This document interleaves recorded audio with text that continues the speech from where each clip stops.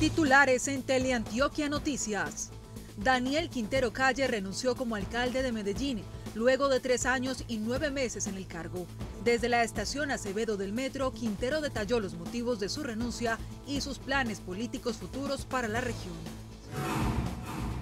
El gobernador de Antioquia, Aníbal Gaviria Correa, calificó la renuncia de Daniel Quintero Calle como un irrespeto al electorado y otros sectores políticos y gremiales criticaron la decisión.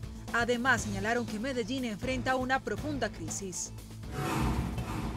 Un mega operativo contra el grupo delincuencial La Magnolia dejó ocho personas capturadas, entre ellas el supuesto coordinador de la estructura criminal que estaría dominando el tráfico de estupefacientes en Envigado.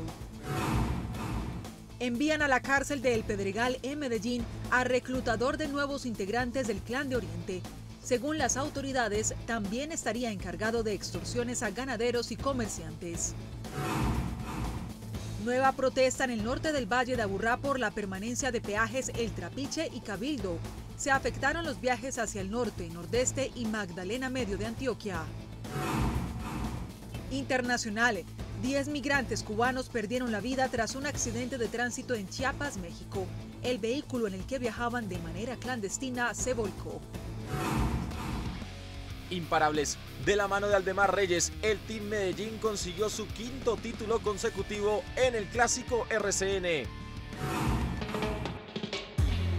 En cultura y entretenimiento, hoy el mundo celebra el Día del Café, una de las bebidas con mayor consumo de todos los tiempos.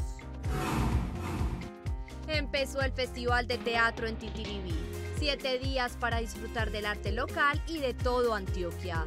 Todos los detalles en minutos.